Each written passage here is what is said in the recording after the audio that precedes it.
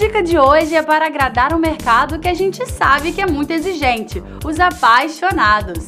O Serenata de Amor é o bombom que está presente nos momentos mais românticos na vida das pessoas. E olha essa delícia de bombons! Tem como não se apaixonar?